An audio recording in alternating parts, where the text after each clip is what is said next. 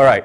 And social media gives us a way to do that. I mean, social media is one of the best things I've discovered in 10 years. It is, it is, it's amazing. And, and a year ago, again, if you told me I'd be doing all this stuff, I told you you were crazy. But here's what a brand is, and this is according to Seth Godin.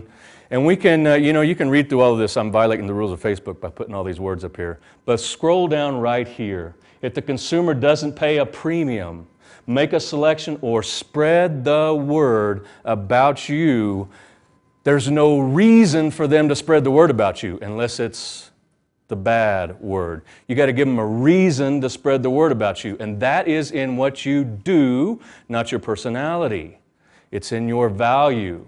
So, to me, this is your personal brand. The reasons why people spread the word about your value.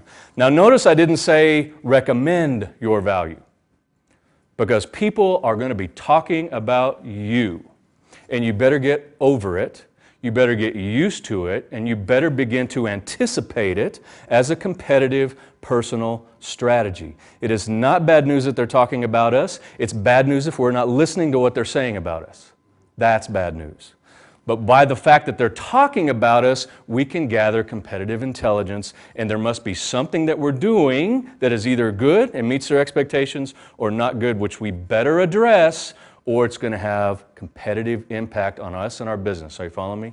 So don't move to exclude yourself from conversations. Don't move to shut down conversations. Move to become part of the conversation and hear what people are having to say. Okay? All right. And here's your value. To me, I mean, I'm all about value.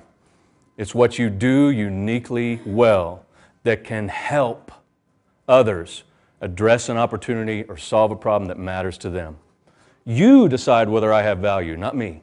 I don't look in the mirror at my personality. I don't go look on my Facebook and all my pretty pictures. I don't look at my Twitter account and all the fun things I'm saying. You decide whether I have value or not. And the word you spread about me defines my value. So it's what you do uniquely well to help others. And this is one of the operating principles of social media that I just love. It is not about you. If you make it about you, you're going to fail.